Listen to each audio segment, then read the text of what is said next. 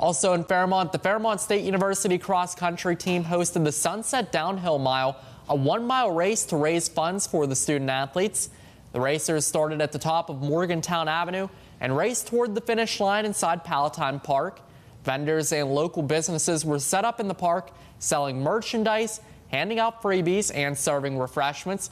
Awards were presented to the top three men and top three women, as well as an award for the first place male and female Fairmont State cross country alumni.